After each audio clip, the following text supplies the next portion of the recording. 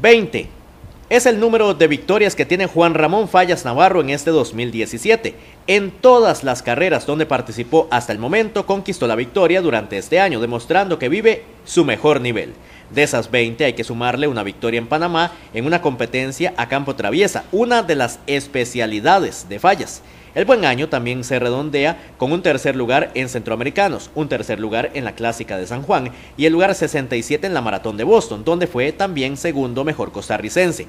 Juan Ramón Fallas Navarro fue pieza fundamental del equipo del Hospital Escalante Pradilla el fin de semana anterior en relevos. A nadie es un secreto que Juan Ramón es uno de los corredores que ha venido en los últimos años eh, dando muchos éxitos para, para, el cantón y para el país.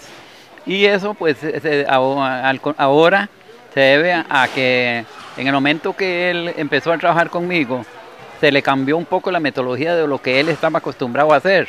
Entonces, pero ya él tenía una preparación muy buena que trae desde años atrás. Ahora este domingo tendrá un nuevo reto para sumar la Victoria 21, la carrera contra el cáncer de mama, que se llevará a cabo en San Isidro del General con salida y llegada al Polideportivo.